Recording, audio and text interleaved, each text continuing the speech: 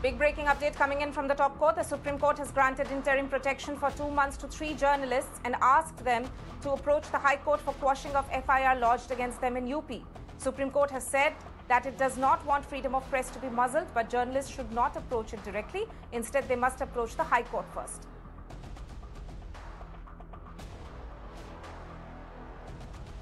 So the top court has granted interim protection to three journalists and also said, very importantly, that they don't want freedom of press to be muzzled.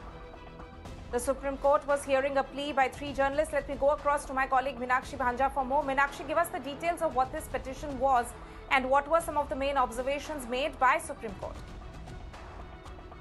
Well, uh, yes, uh, you see, uh, we have often seen a trend where journalists uh, who have had FIRs re registered against them. In this case, they are they are uh, three wire journalists uh, who knocked on the Supreme Court to uh, intervene, who seek the Supreme Court's intervention in a case of uh, the UP government lodging FIR against them.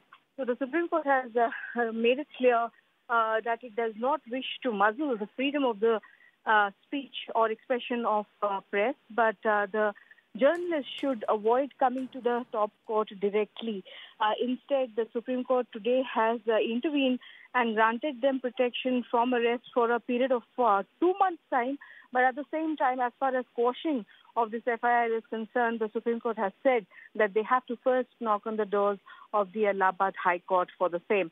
So the trend of journalists uh, knocking on the doors of the uh, Supreme Court directly uh, and not instead uh, going to the relevant high courts or the trial courts first uh, is something that the Supreme Court has frowned upon, Tanima. Right, Minakshi, thank you so much for joining us with that.